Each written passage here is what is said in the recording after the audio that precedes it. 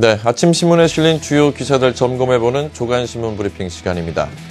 아, 연이은 강추위로 전력 수급이 여의치 않은데요. 주요 신문들은 전기요금 인상 소식을 비중 있게 다루고 있습니다. 먼저 한국경제신문부터 보겠습니다.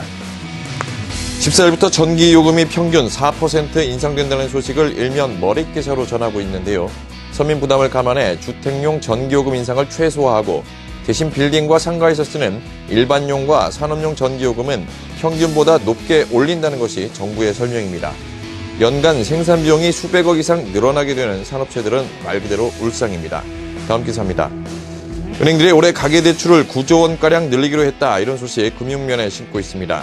통상 5%가량 늘었던 증가율과 비교한다면 절반에도 못 미치는 수준인데요. 집을 담보로 맡기거나 신용으로 빚을 내려는 서민들의 은행 대출 문턱이 높아지는 것 아니냐 이럴 전망입니다. 다음 기사 보겠습니다.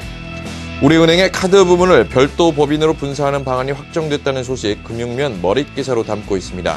비정사실화될 경우 카드업계 판도 변화가 예고되는 셈이고요. 우리은행 노조는 카드 부문 분사에 강력 반발하고 있어서 진통이 예상되네요. 미국 라스베가스에서 열린 CES에서 중국 스마트폰 제조업체들의 관심이 몰렸다는 소식 IT 모바일 면에서 소개하고 있습니다. 삼성전자와 애플이라는 두 강자가 이번에 신제품을 공개하지 않은 상황에서 중국 업체들이 고성능 하드웨어로 무장한 스마트폰을 들고 나왔기 때문이라고 하네요. 이번엔 조선일보로 가보겠습니다. 2011년 이후 저축은행 24곳이 무더기 퇴출당했지만 앞으로 퇴출 가능성이 큰 저축은행이 적지 않다는 내용 경제면 헤드라인 기사로 다루고 있습니다. 지난해 6월을 기준으로 1년 후 저축은행들의 건전성을 예측해 보니 14개 저축은행의 BIS 비율이 5% 미만으로 떨어지는 이유에서인데요. 저축은행 고객들은 거래 안전성에 촉각을 곤두세워야 할 것 같습니다.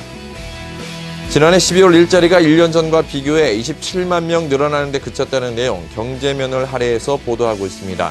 12월 한 달만 보고 일자리 상황을 판단하는 것은 무리겠지만 정부는 일자리 증가 속도가 예상보다 빠르게 느려지고 있어 걱정하고 있다고 하네요.